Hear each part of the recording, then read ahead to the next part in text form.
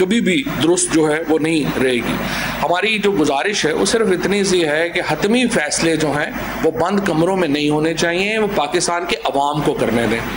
पाकिस्तान के अवाम जो हैं, वो फैसले करेंगे तो पाकिस्तान की जो भलाई है, वो होगी। बंद कमरों में होने वाले फैसले जो हैं, उनका ना तो उनकी कोई लाइफ होती है, ना उनकी क्वालिटी होती है। लिहाजा ये पाकिस्तान के अवाम को फैसले जो हैं, वो करने चाहिए। इन चार महीनों में जो कि, जिसके नतीजे जो एक साजिश के नतीजे में, जिस तरीके से एक मंतखब हुकूमत को हटाया गया, आप देखिए उसके बाद हालात क्या हो गए हैं। उसके बाद पाकिस्तान की मीशत की कमर टूट गई है। आज पाकिस्तान के अवाम जब बिजली के बिल देते हैं तो मुझे एहसास है। मफ्ता इसमाइल साहब जो हैं, उन्होंने कल प्रेस कॉन्फ्रेंस की। लेकिन पूरे चौदह करोड़ जो जो हमारे बाईस करोड़ लोग हैं, उनको वो कई महीनों से रुला रहे हैं। बाईस करोड़ लोगों को इतने महीनों से रुला रहे हैं और उसके बाद हमने देखा कि उनकी आँखों में भी आँसू आ गए।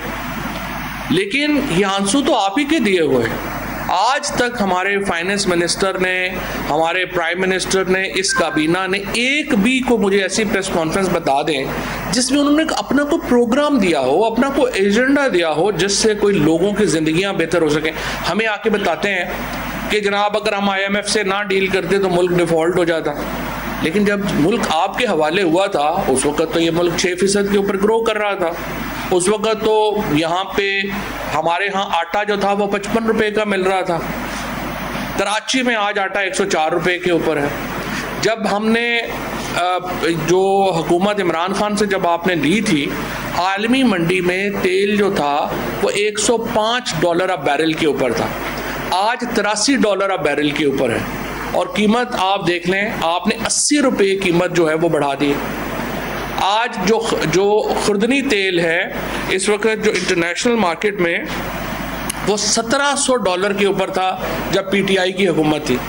आज खुर्दनी तेल की आलमी कीमत 800 डॉलर है। लेकिन यहाँ पे तेल की कीमतों में जो हमारे घी की कीमतों में सौ रुपया भी कमी नहीं हुई। एक रुपया भी किसी आपने लोगों को जो है वो ट्रांसफ़र नहीं किया। इसी तरीके से जो बिजली की हमारी कीमत है, जब हमने पीटीआई ने हुकूमत छोड़ी थी तो वो 16 और 18 रुपए के दरमियान जो थी वो फ्लक्चुएट कर रही थी पर यूनिट इस वक्त छत्तीस रुपये से भी ज़्यादा हो गई है। तो मुझे आप बताइए कि इस हुकूमत के पास कोई एजेंडा नहीं है बड़ी कोई ਖਬਰ ਬਰਨਾਲਾ ਤੋਂ ਹੈ ਬਰਨਾਲਾ ਦੀ ਜੇਲ੍ਹ ਸਵਾਲਾਂ ਦੇ ਘੇਰੇ ਦੇ ਵਿੱਚ ਹੈ कोई फैसले नहीं कर सकते आज देखिए मसलन पूरे मुल्क में मसला पैनाडोल ही नहीं मिल रही पैनाडोल क्यों नहीं मिल रही इसलिए नहीं मिल रही कि हुकूमत जो वफाकी काबीना ने जो कीमत तय करनी थी पैनाडोल की वो कर ही नहीं पा रहे लिहाजा उसकी वजह से पूरे मुल्क में दवाई की किस पैनाडोल जैसी दवाई की किल्लत हो गई है। बाकी जो दवाइयाँ हैं, उनकी एक लंबी फहरिस्त है, जो बनना बंद हो गई हैं पाकिस्तान के अंदर। इन ये जो महीने हैं, जो पिछले चार पाँच महीने हैं, इनमें आपने ये देखा होगा कि पाकिस्तान के अंदर कोई नया प्रोजेक्ट जो है लार्ज स्केल मैन्युफैक्चरिंग को तो भूल ही जाएँ रियल एस्टेट का भी कोई नया प्रोजेक्ट पाकिस्तान में नहीं आया। एक तरफ़ जो महँगाई है, वो 45 फ़ीसद के ऊपर पहुँच गई है।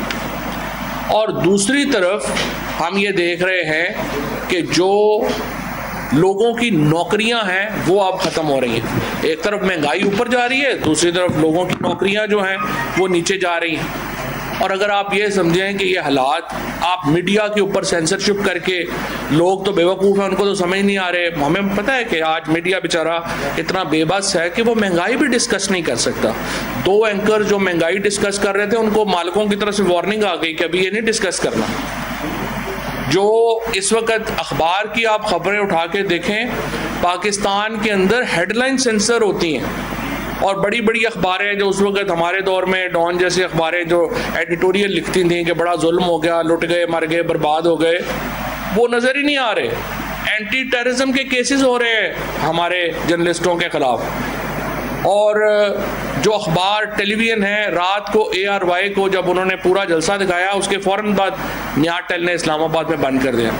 वर्स्ट सेंसरशिप इस वक्त पाकिस्तान में मीडिया के ऊपर है। एंटी टेररिज्म एक्ट का और जो ब्लासमी केसेस हैं तो हिंद मज़हब के कानून हैं। कभी किसी और हुकूमत ने अपने सियासी मुखालफी के ख़िलाफ़, अपने मीडिया के क्रिटिक्स के ख़िलाफ़ इस तरह से इस्तेमाल नहीं किए जिस तरह से पाकिस्तान में हो रहे हैं। मैं तो सुप्रीम कोर्ट की तवज्जो दिलाना चाहूँगा, पाकिस्तान पहले ही दहशत गर्दी से शदीद मुतासर मुल्क है। और यहाँ पे अगर आप एंटी टेररिज्म की जो लॉ है, उसको इतना ट्रिवलाइज कर देंगे, इतना उसको अमूमी इस्तेमाल में ले आएँगे कि अपने हर सियासी मुखालफ के खिलाफ आप एंटी टेररिज्म एक्ट के केसेस करेंगे। आपके जो असल केसेस हैं, जिन पे एंटी टेररिज्म लगना चाहिए, वो वहाँ इफ़ेक्ट होंगे। इमरान खान के ऊपर आपने एंटी टेररिज्म एक्ट लगा दिया है। आपने जो बाकी लोग हैं, उनको, जो मीडिया के लोग हैं, जमील फारूकी को आपने अरेस्ट कर लिया एंटी टेररिज्म एक्ट के ऊपर। शहबाज गिल को आपने बगावत के ऊपर जो है महीना हो गया रखा हुआ है। और, ये आपकी जो इस वक्त पॉलिसीज़ हैं, सुप्रीम कोर्ट को चाहिए कि इसका नोटिस ले। सैलाब में मैं आपको बताऊँ कि आज इमरान खान दूसरी बड़ी टेलीथॉन करने जा रहे हैं सैलाब के ऊपर। जब पिछली हमने जो टेलीथॉन की थी, उसमें पाँच अरब रुपए से ज़्यादा की कमिटमेंट्स जो हैं, वो इमरान खान को मिली थी। उन पाँच अरब में से तीन अरब रुपया जो है, वो जमा हो चुका है। वो पाकिस्तान को, हमारे जो अकाउंट्स हैं, खैबर पख्तूनख्वा के और पंजाब बैंक के, उनमें आ चुका है। और उनमें से जो एक अरब रुपया है, वो आपको मालूम है कि इमरान खान पहले ही अनाउंस कर चुके हैं कि वो सिंध में जाएँगे। आज जो टेलीथॉन होगी इन हमें उम्मीद है कि इसमें भी ओवरसीज़ पाकिस्तानीज जो हैं, वो भरपूर तादाद में अपनी कमिटमेंट्स देंगे, अपना इजहार करेंगे। आज एक मीटिंग भी है अभी शाम को जहाँ पे हम इसको देख रहे हैं, डॉक्टर सानिया निश्तर जो हैं, वो इसकी सबराही कर रही है कमेटी की, जो ये देख रही है कि हमने ये पैसा खर्च कैसे करना है। इसको जो बेस्ट यूटिलाइजेशन जो है पैसे की, वो कैसे होगी?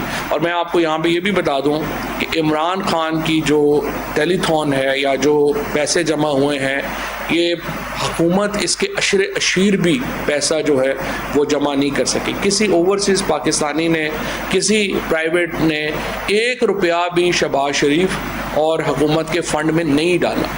इससे आप अंदाज़ा लगा सकते हैं कि इस हकूमत के ऊपर अदम अतमाद कितना बड़ा है। इससे आप अंदाज़ा लगा लें कि ओवरसीज़ पाकिस्तानी जो हैं, वो इस हकूमत के करेक्टर के बारे में क्या सोचते हैं? कि इस हकूमत को जो इन्होंने अपने अकाउंट्स खोले, उनमें एक भी प्राइवेट फंडिंग जो है, वो उस तरह से नहीं आई। जो सवाए ज़बरदस्ती की जो फंडिंग होती है, कि फ़लाने तनख्वाहें काट लें, ये कर लें, वो कर लें, कोई प्राइवेट फंडिंग जो है, वो इस हकूमत को नहीं मिली। और हमारे जो दोस्त ममालिक हैं, आप अंदाज़ा लगाइए कि हम इस वक्त कितनी बड़ी तन्हाई का शिकार है कि पाकिस्तान को जब जलजला आया था और जब परवेज़ मुशरफ पाकिस्तान में सरबराह थे और फिर 2010 में सैलाब आया था, बहुत बड़ी तादाद में हमें हमारे जो दोस्त ममालिक हैं वो आगे बढ़े और उन्होंने हमारी मदद की। सऊदी अरेबिया ने यूएई ने, ओवरसीज़ पाकिस्तानीज़ ने इवन जो वेस्टर्न ममालिक हैं, उन्होंने फिर एक फ्रेंड्स ऑफ़ पाकिस्तान 2010 में लॉन्च किया गया, इन तमाम ने बढ़ के आगे पाकिस्तान का हाथ पकड़ा और हम उस मुश्किल से निकले।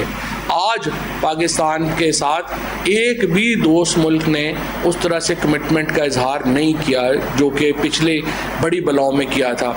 और इंडिविजुअल्स जो हैं, वो अपने तौर के ऊपर काम करना चाहते हैं, कोई भी शबाज शरीफ के ऊपर और इसकी काबीदा के ऊपर अतमाद करने को तैयार नहीं है, क्योंकि लोगों को ये यकीन नहीं है कि जो पैसा इनको मिलेगा, क्या वो सैलाब जदगान के ऊपर खर्च होगा, या ये पैसा ये लंदन में या इनके अपने महलात के ऊपर चला जाएगा। लिहाजा अतमाद की कमी की वजह से मौजूदा हुकूमत के जो इस वक्त वज़ी अजम हैं, काबीना है, उनको कोई भी बंदा जो है वो रिस्क लेने को ही तैयार नहीं है और इनको पैसे देने को ही तैयार जो है वो नहीं है। लेकिन इमरान खान को एक बहुत बड़ा पैसा जो है वो मिला है और इन ताला वो पैसा जो है वो इसके मुताबिक ही जो है वो खर्च होगा।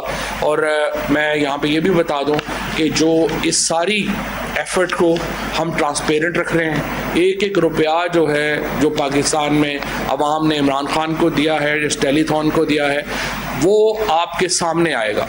और यहाँ पे ये बात भी ज़रा आप देख लीजिए कि सैलाब पंजाब में और खैबर पख्तूनख्वा में भी हिट किया था। लेकिन आज जो तबाही है, उसमें आप देख लें कि पंजाब और खैबर पख्तूनख्वा की हुकूमतों ने कितने अहसन तरीके से इस सारे मामले को डील किया। कोई आपको वहाँ पे उस तरह के मनाजर नहीं मिलते जो सिंध में और बलूचिस्तान में मिल रहे हैं। उसकी वजह क्या है? उसकी वजह यह है कि पंजाब में एक तो इमरान खान वो वाद लीडर थे जो माहौल की बात करते हैं। सैलाब क्यों है? सैलाब की तीन बड़ी वजूहत हैं। क्लाइमेट चेंज है, जिसकी वजह से आपको ये सैलाब का सामना करना पड़ रहा है। आपका ड्रेन नहीं है, यानी पानी आता है, उसको निकालने के ज़राए नहीं है और आपने डैम्स नहीं बनाए। 140 एमएमएफ पानी पाकिस्तान में हर साल आता है। हमने सिर्फ़ 13 एमएमएफ स्टोर करने का इंतज़ाम किया हुआ है। ये 1970 के बाद जब तरबेला बना, पहला लीडर इमरान खान था जिसने 10 डैम्स पाकिस्तान में शुरू किए। जिसने 10 बिलियन ट्री सुनैमी पाकिस्तान के अंदर शुरू की, जिसने लोगों को शौर दिया कि दरख्त लगाने क्यों ज़रूरी है। इससे पहले तो पाकिस्तान में पॉलिटिकल एरिना में तो कभी किसी ने ये बात ही नहीं की।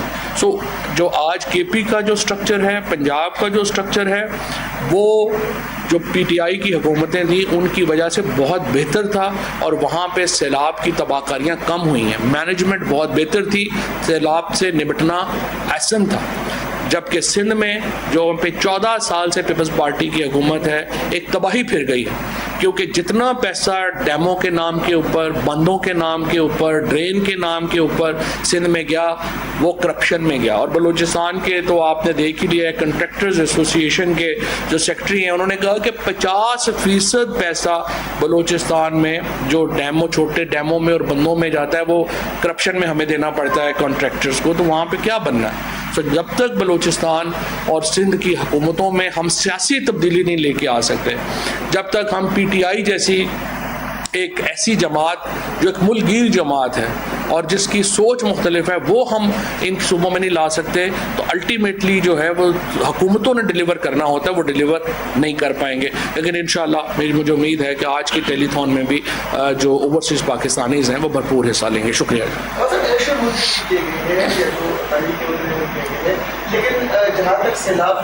तो नहीं। तो क्या आप इसमें से कुछ चेंज करेंगे?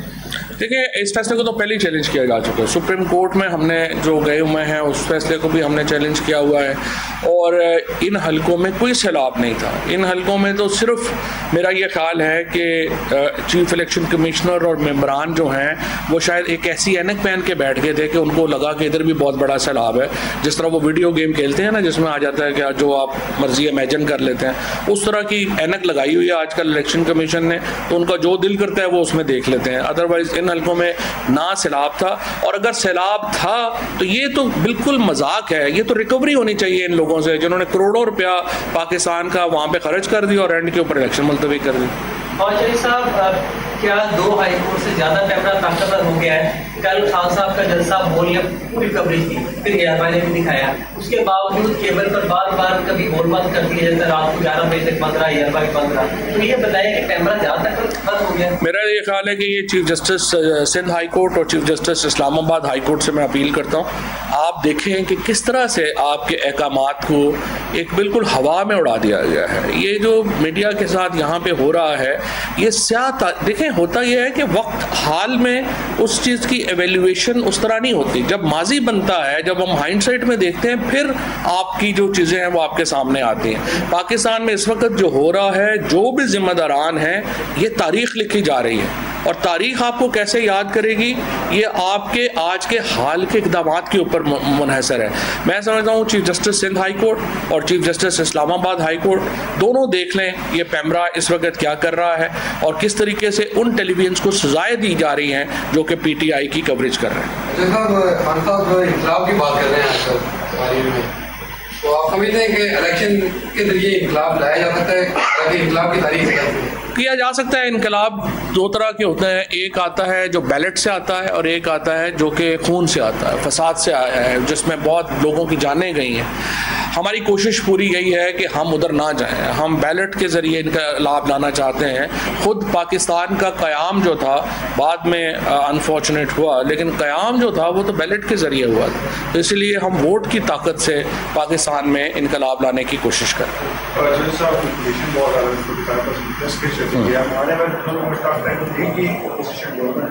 अरे आज हमने अपने तमाम जो ज़िले सदूर हैं उनको ये लिख दिया है कि आप तैयारी कर लें और अगले हफ़्ते से हम महँगाई के ख़िलाफ़ एक बहुत बड़ी तहरीक का आगाज़ जो है वो करने जा रहे हैं। और मुझे उम्मीद यही है कि ये जो तहरीक शुरू होगी ये फिर हम उसको एक बड़ी जो पोलिटिकल मूवमेंट है उसी में ही हम कन्वर्ट नवाज़ शरीफ साहब वापस आ रहे हैं बताया जा रहा है कि पंजाब में मोदी पर अहतमाद लाई जा रही है और आपकी जो बीस से जो एम पी एस वो या तो है? देखिए पहली बात तो यह है कि नवाज़ शरीफ का तो मुझे नहीं लगता वो वापस आए। क्योंकि नवाज़ शरीफ जो हैं, वो अदालतों को स्केप करना चाहते हैं, अदालतों से बच के पाकिस्तान आना चाहते हैं। पाकिस्तान का इस वक्त जो कानून है, उसमें दो तहाई अक्सरियत चाहिए नवाज़ शरीफ को वापस सियासत में अहल करने के लिए। इसके अलावा कोई और रास्ता नहीं है। और उनको आके जेल जाना पड़ेगा और केस लड़ना पड़ेगा। और मुझे नहीं लगता नवाज़ शरीफ जो है, वो आएँगे। हालाँकि हम चाहते हैं कि वो आएँ और अपना केस जो है, वो फेस करें। जहाँ तक इस बात का ताल्लुक है कि पाकिस्तान के अंदर जो ये तहरीक ला सकते हैं। मेरा ये ख्याल है कि चौधरी परवेज़ अलाई भी तगड़े आदमी हैं और ये पंजाब में जो तहरीक की बातें हो रही हैं ये ना हो कि अल्टीमेटली नून लीग के बीस इक्कीस बंदे टूट जाएँ।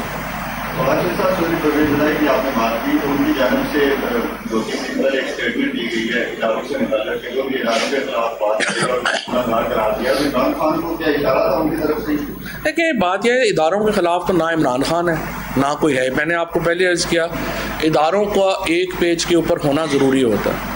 और अगर हम सिर्फ़, हमारी सिर्फ़ जो जस्तजू है, हमारी जो गुफ्तु है, हमारी जो महम है, वो ये है कि जो इदारे सिर्फ़ नॉन इलेक्टेड इदारों को आप इदारा ना समझें। सियासी जमातों को भी वही इज़्ज़त दें आवाम को भी वही इज़्ज़त दें जो इदारों को आप देते हैं। और जो फैसले हैं वो आवाम के माने जाने चाहिए और इदारों का एक पेज के ऊपर होना ज़रूरी है अगर हम आगे जाएँ और एक पेज पे होने के लिए आवाम की जो फैसले हैं उनको मानना ज़रूरी है।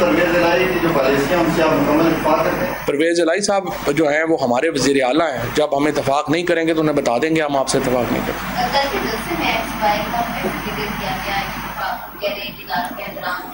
रहे हैं, इमरान खान का चल रहा है है। तो क्या इस तरह के बयान में जल्सों में ठीक है? देखिए, बात यह है कि जब पीटीआई के ऊपर इतनी बड़ी सेंसरशिप है, क्या वो ठीक है? क्या मीडिया में जो लोग पीटीआई की बात करते हैं, उनको उठा के टेररिज्म में आप चार्ज कर दें, वो ठीक है।